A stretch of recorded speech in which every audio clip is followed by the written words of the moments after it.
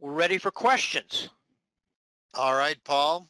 Sean asks, I have a private pilot's license, single engine land, conventional aircraft from 1988. I let my third class medical expire. I did not fail it. Could I now get sport pilot weight shift with just my driver's license? Yes, you can. See, you're in great shape. I've you're just the same as the airplane pilot. You had you probably you probably have the old paper certificate. If you called me up and asked me what do you do, you take your you call the FAA up and said, "Hey, I want my new plastic green pilot's license," and you give me your information on your old paper, and you are good to go. So you're way ahead, even though you haven't done it for a long time. That pilot's license is good for life. So the answer is yes, you're ready to go with your old pilot's license. You will not have to take a knowledge test and you do not have to solo to be able to get your weight shift. Okay. Doug asks, how can you carry camping, maintenance, and cross-country stuff in a trike? Well, if you are on your own, that back seat can carry all that. Now, if you've got another person, then it's going to be more difficult. One of the guys is, uh, oh, I forget what the name was, but he is flying around the world with two people. They have camping gear. They've got it strapped to the outside of the trike. It looks like a mess, but they've basically got it strapped to the outside. Uh, so they, they take that and They've, they're flying around the world with camping gear, sleeping bags, food, uh, everything. So some of the more, or oh, one of the new modern trikes has huge saddle bags to put stuff in. But if you're going to be flying around with one person, you got plenty of room in the back. See, if you're going to be flying with two pe people, you're going to have to strap it on the on the side, and that is is going to you know it's going to add weight, drag, and everything else. But it is done guys going around the world right now. Okay. Uh, Pete asks, uh, he lost audio for a moment. He's an ATP with CFI. What are my options or requirements for trikes? Okay.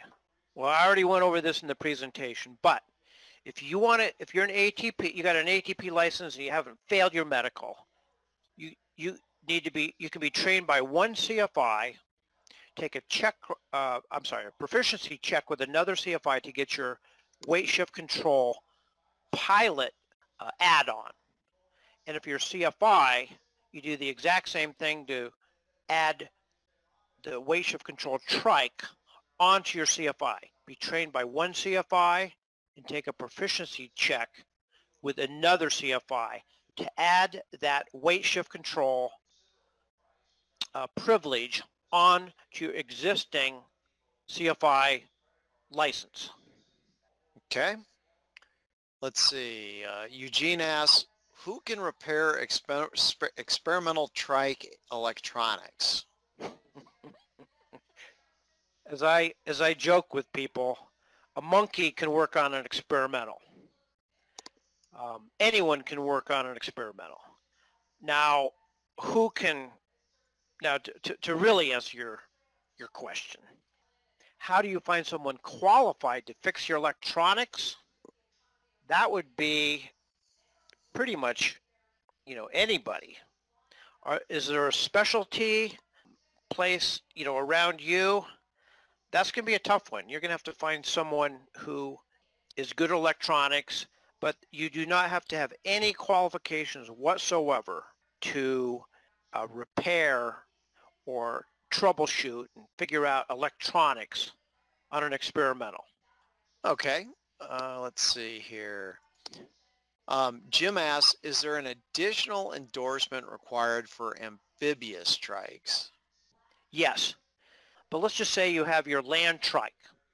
If you want to add water to that, then you can take a proficiency, uh, you, you're trained by one CFI, and take a proficiency check to add that on uh, to that because with an amphibious trike you need a land rating and you need a sea rating and typically you would get your land rating first and then add on the sea rating. Okay. Michael asks, as a private pilot with lots of hang gliding experience, is the weight shift control add-on an endorsement or considered just transition training? No, no, that would be, if you're a private pilot and you, you, you want to go to weight shift control, that is transition training. And that's going to take, if you're a private pilot already, you can be trained by one CFI and then take a proficiency check with another CFI. Now your hang gliding experience, I've had a lot of hang glider pilots, private pilots, commercial, et cetera, et cetera, who, who have a lot of hang gliding experience and they pick up everything really fast until it comes time to landing, for landing. Then everything slows down. But flying the weight shift control is just like flying a hang glider. Uh, if you want to add that, the hang gliding experience is going to help you and also if you're a power, power pilot, uh, an airplane pilot, then the landing should get easier, should be much easier now. The private pilot with hang gliding experience should transition pretty easy. Again, you need to be trained by one CFI and take a proficiency check with another. So in other words, your hang gliding experience doesn't count for anything except for your actual experience flying the bar to turn and speed. Okay. Gerald asked, can a weight shift control craft be slipped to lose altitude quickly like you do when cross-controlling a normal airplane? Well, sort of. What does that mean? Generally, as you're flying, that weight shift control trike is pointed right into the wind, just like an arrow. If you bank it way up, a 60 degree bank, push it out a little bit, pull it a little bit, it will slip a little bit. You don't want it to slip much because as it slips, you kind of lose a little bit of the control. But to answer your question, if you want to lose altitude, generally no, it doesn't slip because it's always flying right into the wind. But if you spiral it, yes, you can lose altitude pretty quick, and some of the wings will slip more than others, uh, but that's kind of getting into your, your advanced techniques. So generally, no, it doesn't slip. Okay, Susan asks, how strong do you need to be uh, to do weight shift? Is there a lot of force on the bar? Well, that is a good question. There is more force than there is flying an airplane stick or a wheel right now you're kind of looking at a picture. We got a, a young lady, Michaela Flint, CFI. She's very lightweight, lighter weight than me. I only weigh 140. And she's, she's flying that high-powered fast airplane in mountain turbulence. Yes, it does take some muscle. When I was first training her, I said, hey, you know, have you done your push-ups and pull-ups? But if you're flying it and it's in calm air, if you're flying a stiff wing, yeah, it takes a, it takes some force to move it. If you're flying a light a light high performance wing, it takes very little effort to move it. If you're flying it in calm air, you could say that, that it doesn't take much force, a little bit. But if you get into turbulence or really bad turbulence, now you have to generally control the wing and the undercarriage with your muscles. Generally, yes, it takes more effort than an airplane. We try and train you to not fly in turbulence. Generally, most pilots don't fly, don't like to fly in turbulence. I mean, I fly in turbulence quite a bit, and doesn't mean I have to like it, but I do fly in it. Additionally, as you learn to fly, your muscles become adept to the motions. There's your answer. It will take more effort, but it's not that much. Okay. Dale asks, can you remove a seat on a trainer to make a vehicle become a no license ultralight? well, no. Have people done that and try and get away with it? Yes. But you've got the weight is one thing. And the FAA doesn't really weigh these as, as much as they used to. There's a really funny story, which I won't tell, about the FAA weighing them, but they don't weigh them much. There's other requirements such as five gallons of fuel, stall speed, that's usually not. So it usually comes down to single seat. Typically in a two place, if you remove the seat, it's not going to meet the weight requirements. And the gas tank's probably going to be bigger than five gallons. So basically no. Uh, do people do that and try and get away with it? Uh, yes. Does it work? I'm not sure. Paul, what engine are you typically run typically running on the two place? That's a great question here. When I first started flying the trikes, I was flying a 503, 50 horsepower. It was a bigger wing, a lightweight trike. I flew that thing up to 17,000 feet. I flew that, that little 50 horsepower Carson down up to Mount Whitney, out to Death Valley, back up cross country, Florida. I fly I'd fly that little 50 horsepower across the Sierras. Then I went to a 582 to 65 horsepower two-stroke. Then I went to a 912 100 horsepower carbureted engine. Now I fly the tri- the uh, both those trikes you see in the picture. All well, three are all the fuel injected Rotax 912 engine. So basically now I fly the 912 fuel injected. Why do I do that? Why do I why am I not flying the 503? because with a 912 100 horsepower, I can fly a smaller wing and I'm bumped around less as I head up over the mountains and it's faster. When you're trying to just, it goes back to what lifestyle do you want? You can get the Rotax 50 horsepower, 503, which they don't make anymore, unfortunately, with a big wing, lightweight, if you want to just cruise around in not that much wind, not go that high, and have fun. So, so this is where when it comes down to deciding which trike you want and which engine, you can go all the way from the, the lightweight, slow, slower, bigger wing with a 50 horsepower up to the 912 fuel injected, high altitude, bumps, high wind, fast aircraft. Okay. Doug asks, do trikes ride easier in turbulence than airplanes generally? And also he asks, can you fly hands off? Is there trim? Yes. Trikes are more susceptible to turbulence because when you get into turbulence, it takes a little bit more strength.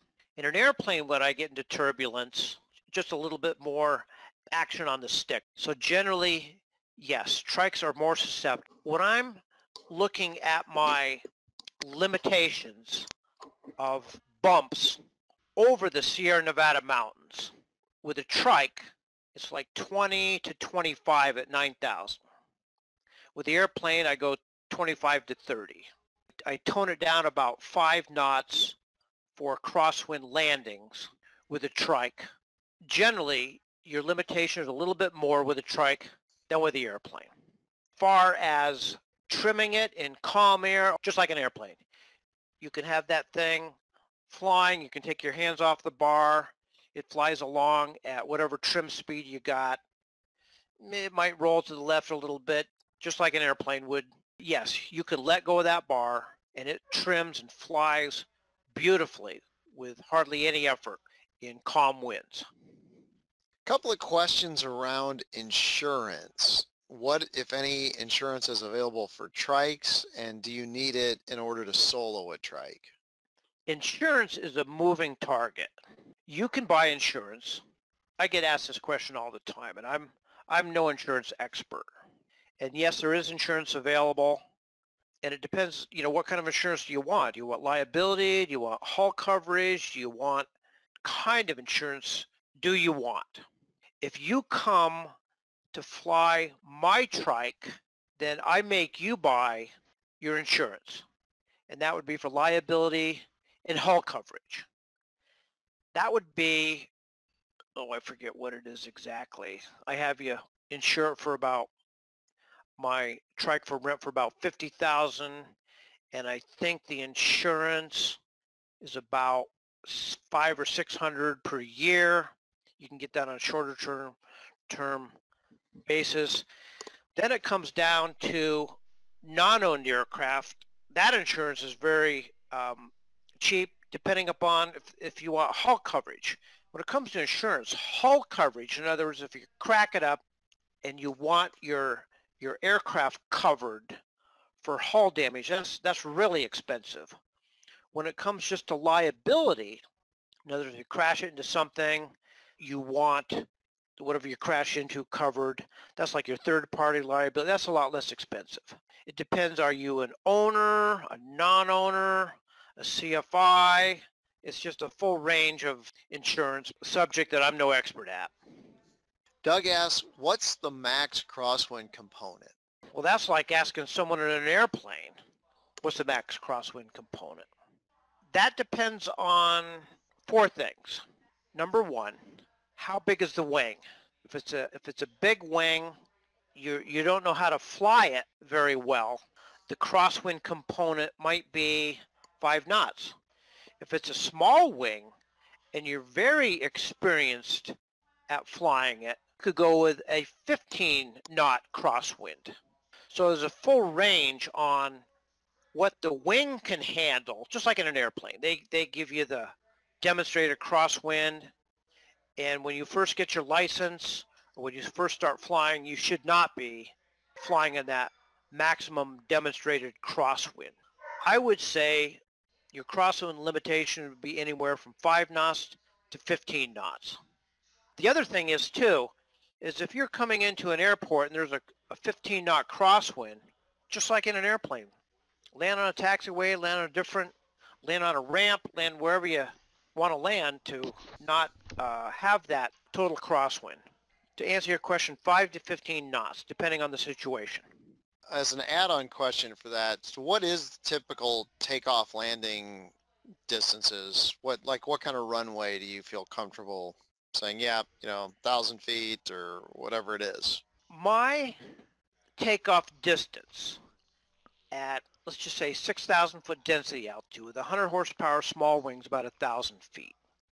I've flown some of the ultralights and I can take off in probably 100 feet. So it's kind of just like an airplane. The higher power, bigger wings, you're going to take off in a lot less distance than your smaller wings, faster aircraft. So you're really going to range between 100 feet and 1,000 feet. Now this, again, this comes back to kind of choosing what you want to do.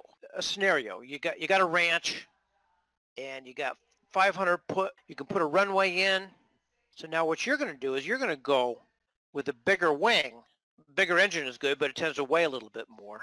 So you're going to go with a bigger wing so you can take off and land in a shorter distance. Is that going to be a good wing for going up in the bumps and wind and going cross country? No. So it really depends on what your what your mission is. Now, a lot of people do want to get a trike, put it in their garage or put it wherever. You have to get a trike designed for a short takeoff and landing distance. To answer your question, between 200 and 1,000 feet. Uh, James would like to know, are there any ultralight trikes for rent at weight shift flying schools? No, because an ultralight time does not count towards your sport pilot license because the way the FAA has it is that an ultralight is not an N-numbered registered aircraft. It's just a vehicle. And this is the same for airplanes. The FAA does not consider ultralight to be an aircraft. So you will not find any ultralights. Well, I shouldn't say that. You could have an ultralight for rent, but it's not going to do you any good for solo to get your license. It could be rented for flying around. Insurance for an ultralight that's not a registered N-numbered aircraft, that, that would probably be a mess there. So generally the answer would be no. There would be no ultralights for rental and it would not count towards your solo hours for your pilot certificate. Gary asks, can you have more than one wing per trike? Oh, that's a good. That that's I, mean, a good. I think he's talking about different Yep. sizes. Yeah, yeah, know. yeah, Mhm. yeah, definitely. So, well, this is one. This is one thing people do is they get an undercarriage, and then they get a big wing for short takeoffs and landings, and then you get a small wing if you want to fly in turbulence or cross country. So yeah, that's one of the advantages here. when you look at the cost of a trike, 80% of the cost is in the undercarriage. It's easy to get different wings and put them on there. Now, if it's a special light sport aircraft, it's got to be certified for both wings. Yes, you can get a trike with a small wing and a large wing, and that's a great option for uh, two different missions. And you can have the same trike undercarriage. Okay, and Doug's wondering how long and difficult is it to pull it out of, of the trailer and assemble it like you showed earlier? Again, it depends on on the wing. If you have a double surface wing, more battens versus a single surface with less battens, I've seen people do it in 20 minutes. Now this is people who are really experienced at it, have the routine down, single surface wing, 20 minutes. It takes me about an hour. Whenever I do it, I, I pull it out. I'm in no hurry. I take about an hour. Now, if you take the wing off and put the wing on, double that hour. So what you really want to do is if you are, are going to be transporting it, you want to get it so it's got the struts underneath so you can pull it, fold the wings back. What the guys in Vegas were doing a long time is they all had their their trailers. They would park the trailers at their house, head out to the dry lake bed. They all pull them out. They got really quick at doing it and efficient doing it. They could pull them out and put them back in in 20 minutes. So can you tie, uh, what do you do like when you're traveling? Do you have to be in a hangar at night or how do you handle that? Sometimes when we did that big long cross country, you, you can tie it down. When I go to the EAA stuff, I'd, I'd leave that thing set up all the time. Just tie it down. The thing that gets the wings is the sun. So you're basically trying to keep it out of the sun. Or if you know there's going to be a big wind coming up, you can take it down for that. But no, when you go on a cross country, you just tie it up at the airport just like an airplane. David asks, there are rigid wing hang gliders like the Exxtacy. Are yep. there rigid powered ultralights and are pilot uh, training requirements different from a flex wing powered ultralight? No, the fixed wing has pretty much stayed with the ultralight. What happened was that the hang glider guys higher efficiencies, and so they went with the uh, the Atos, which is like the super high efficiency hang glider, and then of course that hang glider wing can handle the loads of an ultralight frame down below it. So that's why the rigid wing, semi-popular, that's a great soaring trike. But that has not evolved to the two-place weight shift control. Will that happen in the future? There's a great business opportunity for someone to make a rigid wing trike. Has it happened yet? No. Will it happen in the future? Maybe. It's a great idea. It would give us a lot more efficiency. Okay, Ronald asks about approach speeds and range for trikes. Approach speed, that's going to depend on the size of wing. Heavy trike, 12.5 meter wing. My approach speed on that is 70. Same as in my airplane. You get a bigger wing that's a lot slower I remember one of the ultralight trikes I flew it. Hit the throttle, boom, before I knew that thing was up. That got to about 25 trim and about 30, I pulled the bar and I could get to about 30. So the approach on that particular weight shift control trike was 30. The approach on my trike is 70. So again, it depends on the, the size of the wing. When I say between 30 and 70, everything in between. As far as range goes, let's say we're burning that one slide I showed you, I flew from Phoenix back up to Carson. For range, the slower you go, the longer range you're going to get. On the particular flight that I showed you a picture of, the range of 150 miles, but that's a full speed. And that was where I would had a 14 gallon tank and I would land with four gallons. Now if I wanted to extend that, I could extend that range dramatically to probably 200, maybe 220 miles, and that's that's with a 14 gallon tank. Back in the day when I was flying the little 503, I had a 12 gallon tank, and I had a little five gallon tank that I would stick up in the back seat that I would be able to drain fuel from that from that five gallon tank down to the down to the main tank. So I had I had like 17 gallons in that. The range depends on how big of a fuel tank, what the fuel burn, how fast you go. Let's just say you could go 200 miles is, would be a, a good round number. Maybe 300, but figure 200 miles is a reasonably good number for range. Well, Paul, great presentation. I think we've answered almost all the questions. Any closing thoughts before we sign off? Oh, I just, I just want to tell you that those questions are great questions. The weight shift control is just one of those things a lot of people don't quite understand. Once you get to know them, they're a heck of a lot of fun. Anybody out there, if you're interested, visit my website and give me a call personally. I'd be happy to talk with you.